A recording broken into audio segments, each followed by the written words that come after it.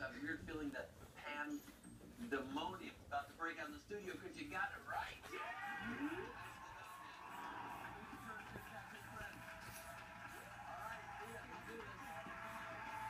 Welcome back. Here. What are your two degrees in? I have human services and marriage family therapy.